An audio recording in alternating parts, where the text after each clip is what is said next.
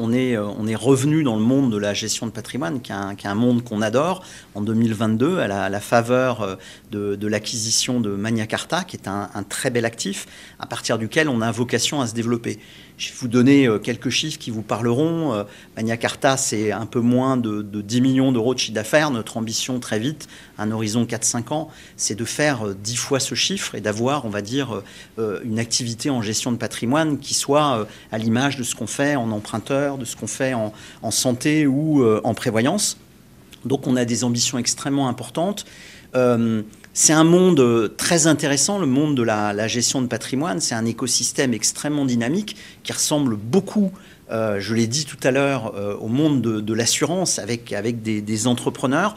Nous, on ne va pas chercher forcément euh, les milliardaires en termes d'encours, même si ça va extrêmement vite dans, ces métiers-là.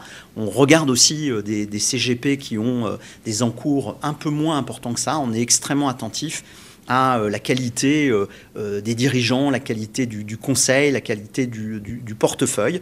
Euh, voilà, et on va rentrer dans ce mouvement où personne nous a attendu. Hein. J'ai vraiment insisté. On a, euh, on a des mouvements de consolidation qui sont engagés, mais c'est un écosystème tellement dynamique que euh, la consolidation a lieu et que euh, le lendemain, vous avez encore euh, plein de CGP qui, qui, qui se lancent avec beaucoup de succès et qui sont notamment en train de, prendre des parts de marché aux banquiers.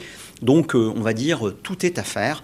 Et puis, vous l'avez compris aussi, on a un ADN quand même de, grossiste. Il y a, avec Magna Carta, on a aussi acheté une, une plateforme qui vient aider les CGP sur les produits, sur la compliance, qui est alors là vraiment un enjeu absolument massif pour euh, les CGP. Et là encore, on a beaucoup de choses à faire autour de ça. Donc euh, on, est rentré, euh, je ne vais pas dire modestement, parce qu'on est hyper fiers d'avoir fait l'acquisition de Magna Carta, mais on va vraiment essayer de, peser dans, ce, dans ce monde comme on a su le faire dans l'assurance. En tout cas, jusqu'à présent, on a plutôt bien avancé.